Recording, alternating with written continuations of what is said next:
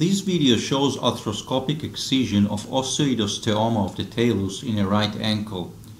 The anterior ankle compartment is viewed through standard anterolateral portal with 30 degree arthroscope. The anterior tibia rim and talar dome are visualized as well as soft tissue covering the talar neck and area of dorsal talar osteophyte.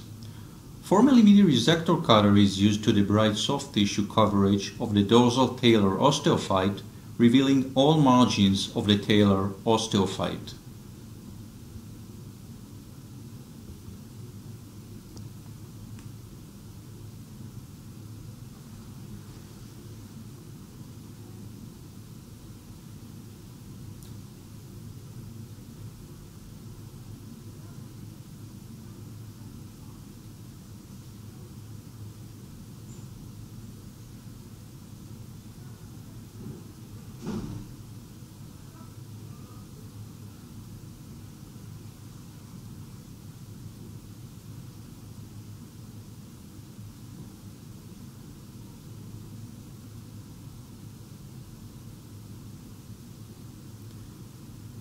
A thin layer of bone is resected just at the area of the talar neck that covers nidus location and 5 mm curette is used to excise bone from the area that corresponds to nidus location until cherry red area which indicates macroscopic appearance of the nidus is identified.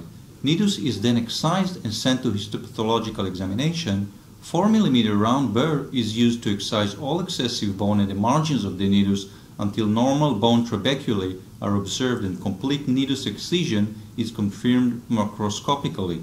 Finally, extent of the talar osteophyte is appreciated again on all sides of the osteophyte.